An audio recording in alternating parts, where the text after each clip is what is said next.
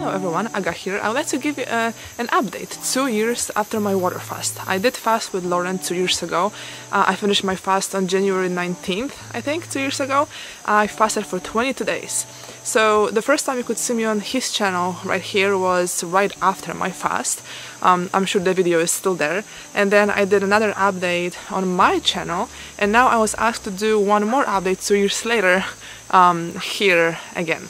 So um, to keep things short, I did a water fast because I was diagnosed with a brain tumor probably five years ago and um, I did not do any surgery, any biopsy or anything like that. I kept, like, like they say, monitoring it, kept doing MRIs uh, regularly to see if it's growing or not.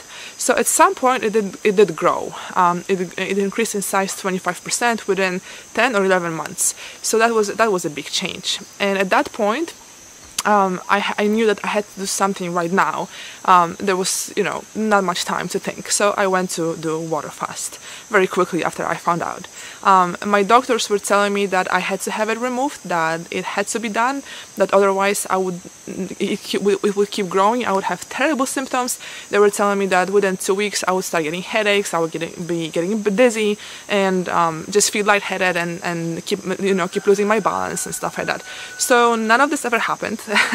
um, when I had uh, my MRI done after my fast, the tumor did not grow anymore. I never got any symptoms whatsoever at all. Um, then I had one more MRI and the size was still the same. So right now I'm MRI free. I call it this way. I do not do any more MRIs because I do not feel any need for it.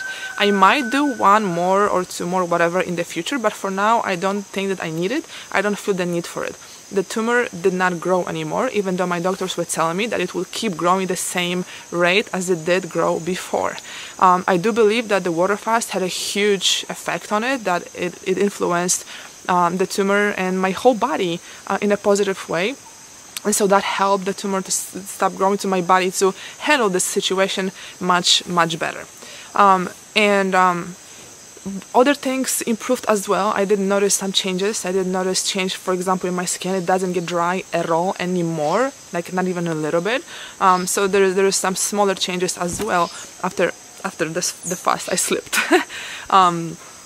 and and yeah those, those small changes happen as well. Um, the fast itself wasn't an issue for me too much. I did not find it difficult. It was difficult at the end because I was I'm, I'm normally uh, a skinny person. So I lost a lot of a lot of energy. And at the, the end of it I was just I was just done.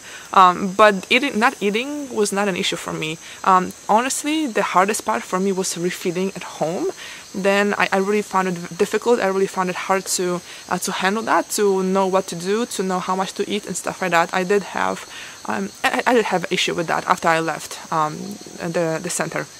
So that was the hardest part for me, the refeeding situation. Um, I did. I was already a fruitarian before my fast for a couple of years, I think, two, three years, um, and and I stayed fruitarian afterwards. So my diet is, you know, mostly uh, mostly fruit, some salads, uh, sometimes, occasionally, some raw vegan gourmet uh, meals, but this is mostly mostly fruit. Especially now that I live in Costa Rica as well, you know, fruit here is amazing. Um, and yeah, so that's um, that's my update. I feel I feel very very well in general. I do have more energy. I sleep less because I don't need that much sleep, and it's still it stayed after the fast for me. So um, my whole family is pretty much the same. We all eat the same way. My kids were raised um, on on the fruitarian diet. They still eat a fruitarian diet. Now they're waiting for coconut water. Coconut water is awesome. Um, it's early in the morning, and this is our first meal. Usually, almost every day, we drink coconut water first, um, first thing in the morning, and then and then we go with watermelons or papayas or whatever else we have, whatever else the kids want. And um, I'm not planning to change that um, anytime soon. Um, I never say never because you never know what will happen in the future, but this is a way of living that I do highly recommend to any, every everyone and anyone. Um, it's it's amazing. It, it really helps a lot, and um, not only you, your body, but also environment and any animals, which are very important for everyone as well. So that's my update. I hope that you guys found it um, valuable at all, a, a, little bit at least. And I wish you all the best in this crazy world. sending sending a lot of hugs and a lot of positive energy and sun. And I might see you again. Bye.